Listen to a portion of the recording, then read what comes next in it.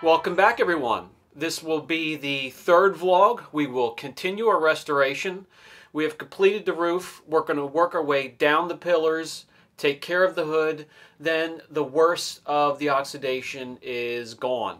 Uh, all the panels directly facing up towards the, the sun will be restored, and the fenders and the rest of the side going through to the back of the car will go quickly, and we'll get this restoration completed.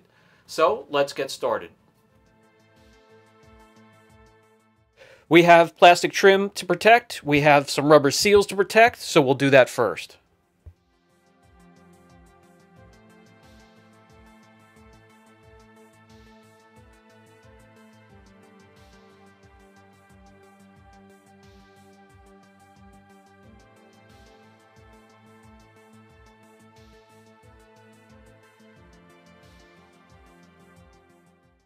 And as you can see here, we have the same oxidation on the lip for the drainage of the roof here and also on the A-pillar. We're going to attack that a little bit differently than the roof and what we're going to do for the hood. We're just going to go after that with a 2-inch polisher and a microfiber pad, and we'll use CarPro Clear Cut. CarPro is an excellent choice if you're looking for uh, a medium cut, something that's not quite as aggressive as some of the top compounds in our cutting compound series. This is exactly what I'm going to use on these areas to save as much finish as possible, as they're just naturally thin coming from factory.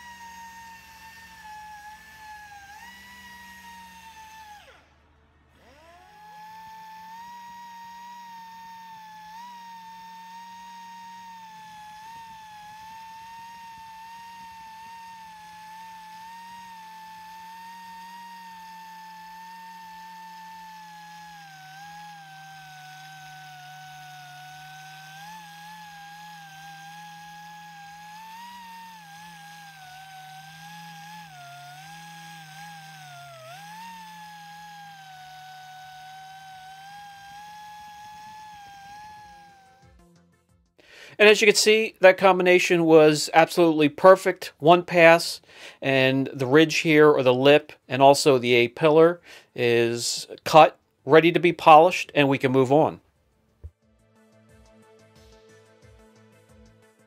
I went ahead and cut the other side as well as we're working from top to bottom.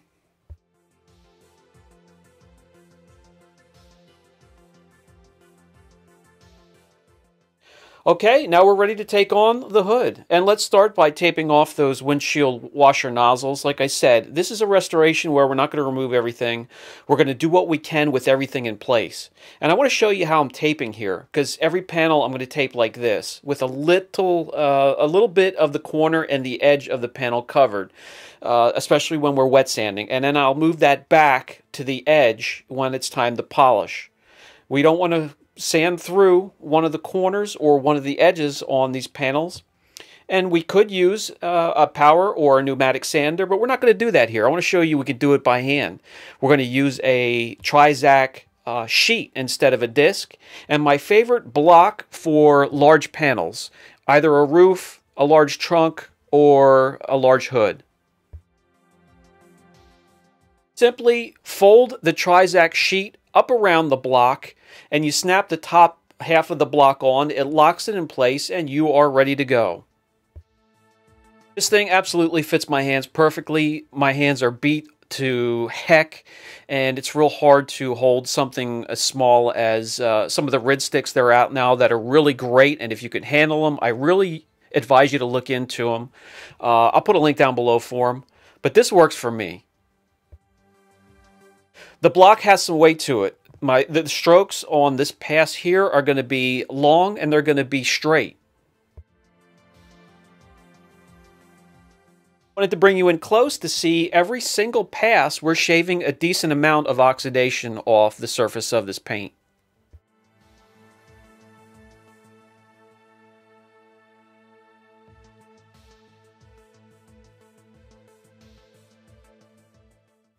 We're gently hugging the edges and also hugging the contours of the body, the body lines, and character lines. Once again, one of my favorite ways to wet sand by hand using one of my favorite blocks. You get in tune with the shape of the car, with the body lines, and you can really just finesse the moment a little bit more if that makes sense. And as you can see here, hugging but not going over the high spots or the high points in the body lines. And after this point, after a single pass, there's a lot of oxidation to be washed off the panel. So we could take a look at it, see if it needs a second pass.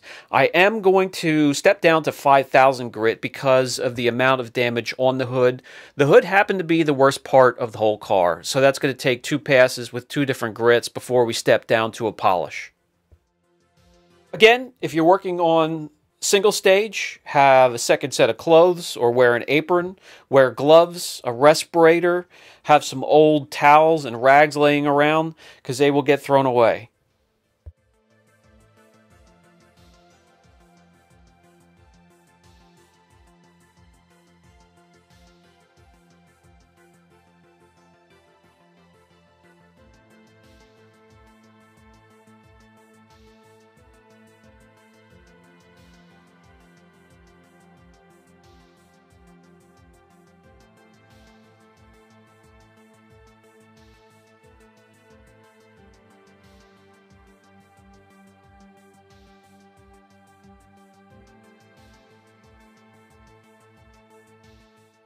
After a quick rinse, I'm going to get a mild IP solution and clean the hood off so I can get a good look at it before I move on. One thing I want to do is grab my foam block, which will conform to some of the shape of, of the hood that I really had a hard time with a larger block, and get the edges. As you can see here, this bends and will conform to the lip up towards the windshield there, and I'll be able to sand that much easier.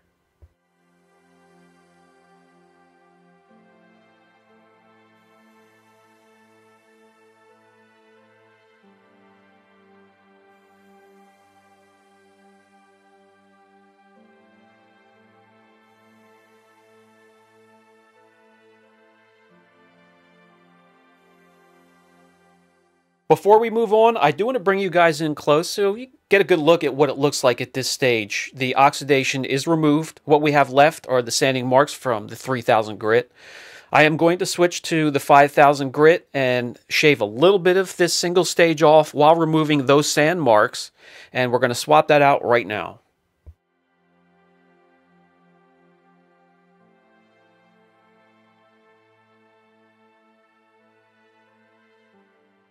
I have been putting links down below for the Trizact discs. I will include the Trizact sheet here.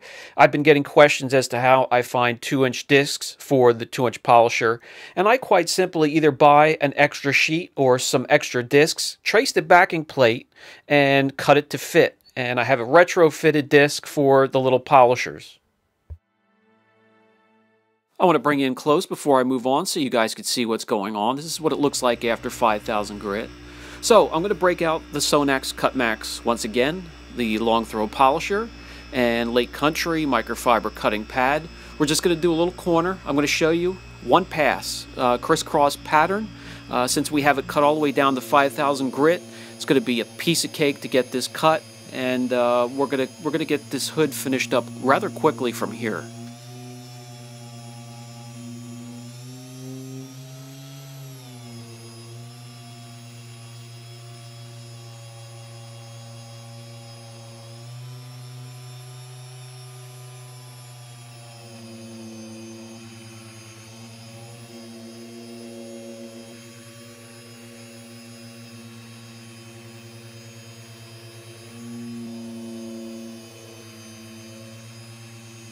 And as you have seen from the cutting compound series, the residue wipes off quickly.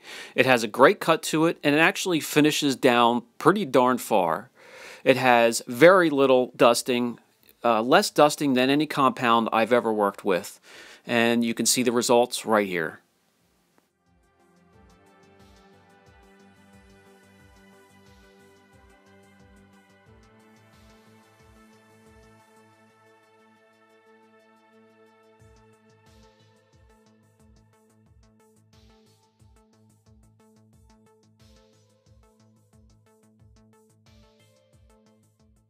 Okay, so I went ahead, I finished the hood. So we have the roof, we have the pillars, we have the hood. They're all cut.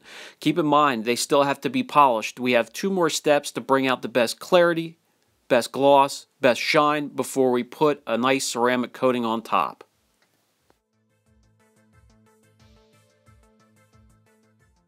Once again, although looking good, not perfect, there's a couple nicks, uh, rock chip here and there, maybe a deep gouge, but all in all, a huge, uh, huge turnaround.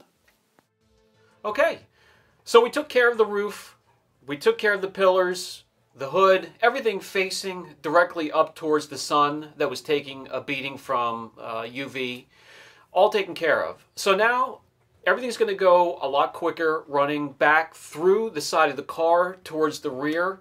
Um, a lot less oxidation on the side of the vehicle, a lot less wet sanding, a lot less polishing, and we're really going to start to fly along. If you have any questions as to what we did today, don't hesitate down in the comments section. I'll catch you in the next video.